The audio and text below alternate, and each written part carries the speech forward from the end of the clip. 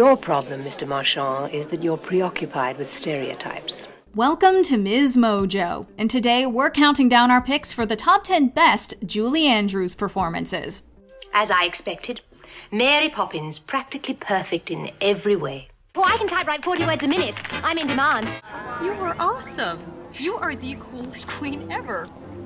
Oh, all in a day's work. For this list, we'll be looking at those times Dame Julie Andrews was the queen of the screen. We'll only be focusing on her film and television roles, since the time she dazzled the Broadway stage could have a list all their own. If we missed any of your favorites, let us know in the comments below. Lots of coal making lots of it. Number 10, Lady Whistledown, Bridgerton. No matter how she appears, or doesn't, if there's a best Julie Andrews performance, we will uncover it. You do not know me, and rest assured you never shall. But be forewarned, dear reader, I certainly know you. Andrews is, of course, known for her transcendent singing, but her speaking voice is in high demand as well. She's narrated a few things over the years, including 2007's Enchanted, but in 2020, she blew us all away with her work in Netflix's Bridgerton. For those not in attendance at the Vauxhall celebration, you missed the most remarkable coup of the season. Andrews voices the elusive Lady Whistledown, a mysterious gossip who runs her own newsletter and makes trouble for London's elite. Her voice work is wonderful. She's perfectly pompous, snide, cheeky, and sly all in one. A scribbling woman is the most canine. If that should be true, then this author would like to show you her teeth. Number 9. Lili Smith, Darling Lili.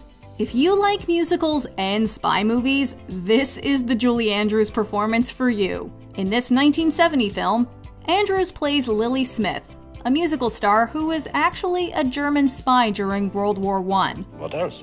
That is top secret. So far, that's all. But he's planned a weekend in the country, and I'll contact you as soon as I have the information. The film presents a comedy of errors, with mistaken identities, romance, and everything else you'd expect. This is so important I can't even tell you.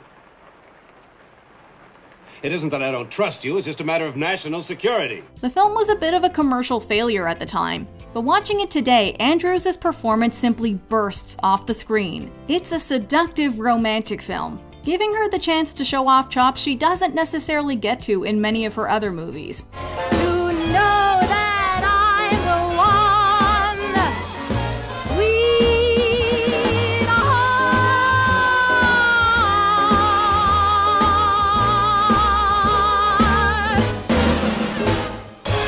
Seriously, is there anything this woman can't do?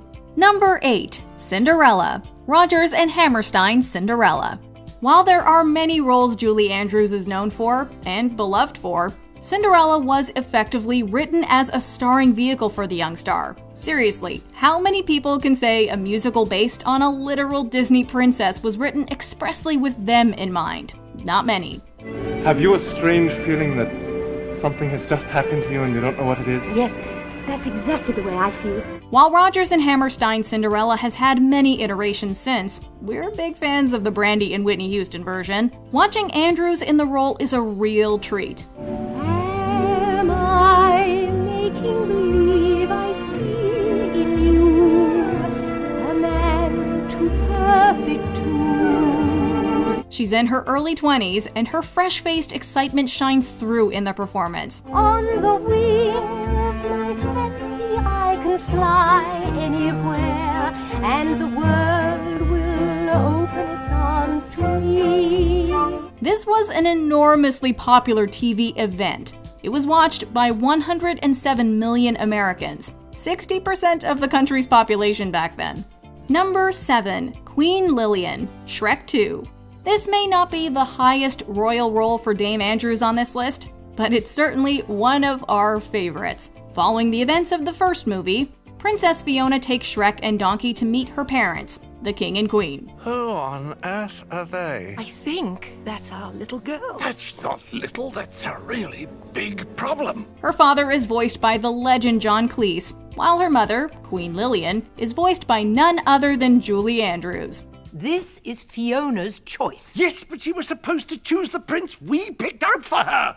I mean, you expect me to give my blessings to this. this thing? Fiona does, and she'll never forgive you if you don't. The king and queen are quite surprised to see that their daughter is in love with an ogre, but Andrews is able to infuse her character with warmth and elegance, the perfect offset to Cleese's more disgusted king. I'm sorry, Lillian.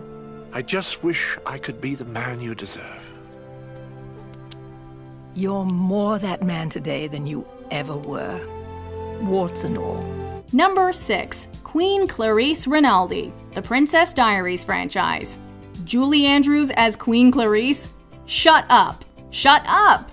I beg your pardon? Shut up. Your Majesty, in America, it doesn't always mean be quiet. Here, it could mean wow, gee whiz, golly wally. Oh, I, I understand. Thank you.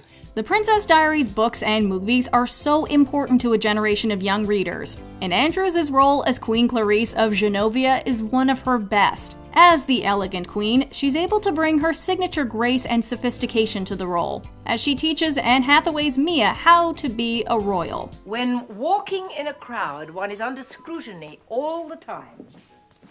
So we don't schlump like this. But in playing off Hathaway and bringing to life that age old clash of young and old, Julie's able to let loose a bit and give us some of that fun grandma energy we always knew she had in her.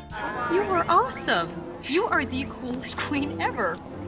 Oh, all in a day's work. Plus, getting to hear Julie Andrews sing again in the royal engagement would have been enough to make this role one of our all time favorites. The most glorious part of you. Number 5. Millie Dillmount, thoroughly modern Millie. Not only does she have a stunning voice, but she can dance, folks. Thoroughly Modern Millie follows the naive Millie Dillmount as she first arrives in the big city, hoping to find a wealthy husband for herself. Oh, I can typewrite 40 words a minute. I'm in demand. Besides, I'm only going to marry an eligible bachelor. You see, I'm going to marry my boss, whoever he may be. You're a modern!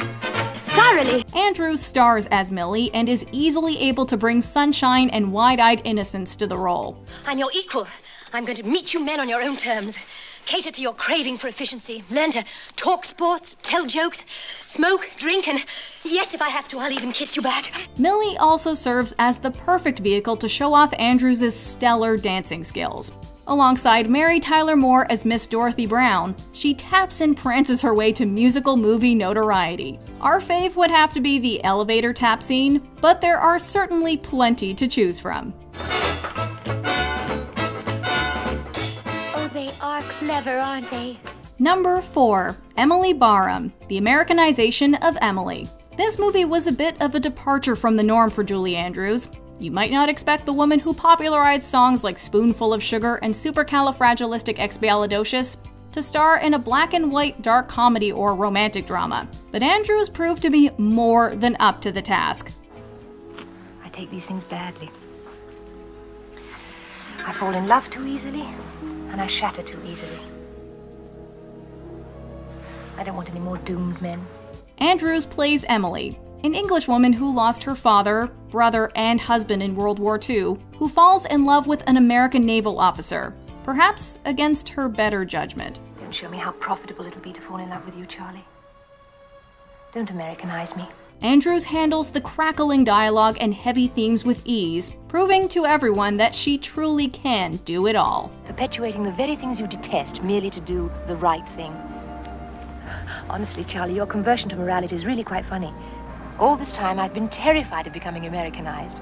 And you, you silly ass, have turned into a bloody Englishman. Number 3. Victoria Grant and Count Victor Grazinski, Victor Victoria. God, what an inspiration. I'm gonna get a doctor. Victoria, it will work. Oh, Toddy, it will If you not. listen to me and do exactly as I say, in six weeks you'll be the toast of Paris, and we will both be very rich. Oh. Definitely one of Andrews' most interesting roles to date, Victor Victoria follows the story of a young, down on her luck singer who finds success by masquerading as a man who masquerades as a woman for his act. Bear with us, we know it's all a bit confusing. I don't care if you are a man.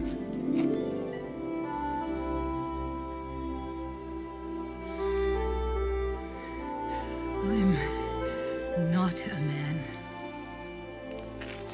I still don't care.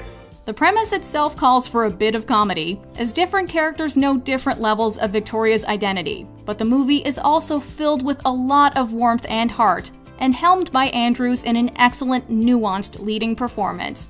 Your problem, Mr. Marchand, is that you're preoccupied with stereotypes. I think it's as simple as you're one kind of man, I'm another. And what kind are you? One that doesn't have to prove it. To myself or anyone. And of course, that iconic image of her in that fitted suit will live on forever. Number 2. Mary Poppins. Mary Poppins. We all know that Mary Poppins is iconic in the best possible way. We don't have to tell you that. As I expected, Mary Poppins practically perfect in every way. But not only did this classic beloved film give us one of Julie Andrews' most enduring roles, it gave us one of the best Golden Globes acceptance speeches of all time. Finally, my thanks to a man who made a wonderful movie and who made all this possible in the first place, Mr. Jack Warner. Jack Warner, president of Warner Brothers, had decided not to cast Andrews in the My Fair Lady movie, even though she originated the role on Broadway, and cast Audrey Hepburn instead. We can't feel too bad for Julie Andrews, though. Things seem to have worked out just fine for her. She went on to win the Oscar, too. Just a spoonful of sugar helps the medicine go down in a most delightful way. Thanks again, Jack. Before we unveil our top pick, here are a few honorable mentions. Gertrude Lawrence, star. The movie title says it all. She's a star. Poor Jenny, bright as a penny, her equal would be hard to find. Marlena Gru, Despicable Me. Add supervillain mom to the resume. I just wanted to congratulate you on stealing the pyramid. That was you, wasn't it? Or was it a villain who's actually successful?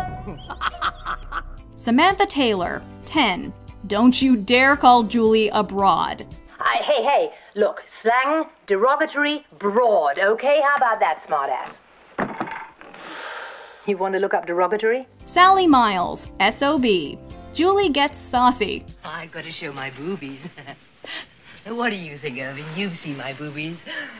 Hmm, are they worth showing? Before we continue, be sure to subscribe to our channel and ring the bell to get notified about our latest videos. You have the option to be notified for occasional videos or all of them. If you're on your phone, make sure you go into your settings and switch on notifications. Number 1. Maria, The Sound of Music. It's hard to think about Julie Andrews and not immediately think of those first moments in The Sound of Music where she runs through the hills, singing at the top of her lungs and lighting up our screens with effusive joy.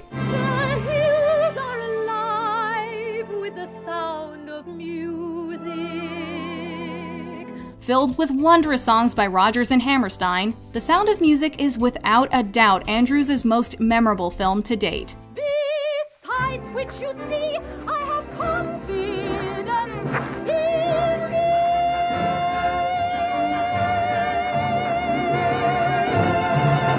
in In the role of Maria, Andrews is mesmerizing. She lights up the screen, shows off her amazing singing chops, and her chemistry with Captain Von Trapp played by the late great Christopher Plummer, is palpable. Small and white, clean and bright, you look happy to meet.